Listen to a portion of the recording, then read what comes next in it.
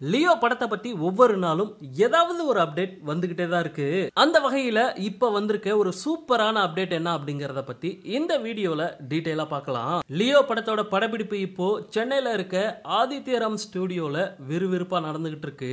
இந்த நிலைமையில போன வீடியோல தான் பார்த்தோம். தளபதி ஆக்ஷன் கிங்கோட ஃபைட் சீனை லோகேஷ் பாத்தீங்கன்னா ஷூட் பண்ணி முடிச்சுட்டாரு அப்படின்ட்டு. சோ இதுக்கப்புறம் லியோ படத்துல எந்த வில்லன் ஜாயின் பண்ண போறாரு அப்படிங்கிற மாதிரியான ஒரு அப்டேட் பாத்தீங்கன்னா இப்போ சோசியல் மீடியால தீயா பரவிக்கிட்டு இருக்கு ஆமா நண்பா ஒருத்தரை தவிர லியோ படத்துல மீதி எல்லா வில்லன்களும் ஜாயின் பண்ணி அவங்களோட சீன்ஸை கம்ப்ளீட் பண்ணி முடிச்சிட்டாங்க.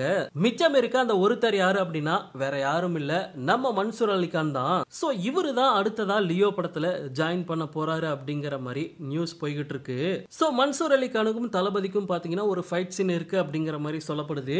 அந்த ஃபைட் சீன் பாத்தீங்கன்னா ரொம்ப சீரியஸா இல்லாம கொஞ்சம் காமெடியா லோகேஷ் பாத்தீங்கன்னா ட்ரை பண்ண போறாராம். உதாரணத்துக்கு மன்சூர் ரஜினிகாந்த் ஆஃப் ஸ்க்ரீனில் எவ்வளோ நக்கலாக பேசிக்கிட்டு இருப்பாரோ அதே மாதிரியான ஒரு கேரக்டரை தான் லோகேஷ் பார்த்தீங்கன்னா லியோ படத்தில் கொடுத்துருக்காராம். ஸோ இந்த மாதிரி நியூஸ் எல்லாம் கேட்கும்போது பயங்கர இன்ட்ரெஸ்டிங்காக இருக்குது படத்தை எப்போ பார்க்க போகிறோம் அப்படின்ட்டு லோகேஷ் மேலே இருக்க நம்பிக்கை ஒவ்வொரு நாளும் அதிகமாயிட்டு இருக்கு. ஸோ அதை அவர் மனசில் வச்சு ஒரு தரமான படத்தை நமக்கு கொடுப்பாரு அப்படின்ட்டு நம்பலாம். ஓகே நண்பா. இந்த மாதிரி தளபதியோட எல்லா அப்டேட்டையுமே மிஸ் பண்ணாமல் பார்க்க நம்ம சேனலை சப்ஸ்கிரைப் பண்ணி சப்போர்ட் பண்ணுங்கள் நன்றி.